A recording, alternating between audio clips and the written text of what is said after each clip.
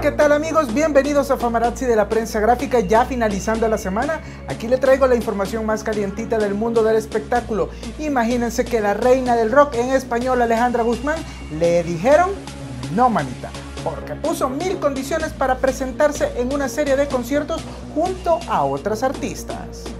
Resulta que los organizadores del show que se anuncia por todos los lados de Estados Unidos querían que Alejandra Guzmán formara parte del concierto llamado Las que Mandan el próximo 7 de noviembre en el Forum de Los Ángeles, California.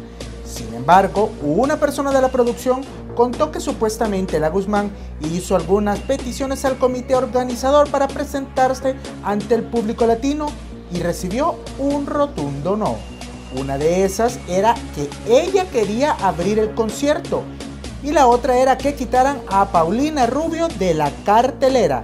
Aquí también está Gloria Trevi, Yuridia, entre otras. Bueno, y quien no está tan feliz es el ex guardaespaldas de Kim Kardashian, porque ha sido demandado por el famoso robo que sufrió la estrella en París, donde terminó amarrada y encerrada en su habitación.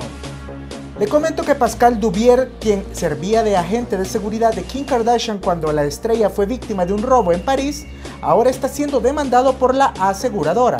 La empresa AIG busca una indemnización de 6.1 millones de dólares, la cantidad exacta que ellos pagaron por las joyas que sustrajeron en el suceso. Según reporta TMZ, alegan que primero Dubier falló al haber acompañado a las hermanas de Kim a la discoteca, dejándola sola y luego no detectó ni corrigió una serie de violaciones de seguridad que permitieron el ingreso de los ladrones a la propiedad. Y bueno, la revista People dio a conocer quién es el hombre más sexy del año 2018. Imagínense quién es. Pues sí, es Maluma. En la imagen de la revista sale el reggaetonero colombiano muy sonriente usando un saco de lana y cabello suelto. Aunque por el título que recibió las fanáticas esperaban ver un poco más de piel, este detalle no fue impedimento para estar de acuerdo con el medio. Y es que Maluma señala que él está agradecido por tal distinción. Y dijo también que no trabaja ni por fama ni por dinero, sino porque simplemente ama cantar y ese es su secreto para el éxito.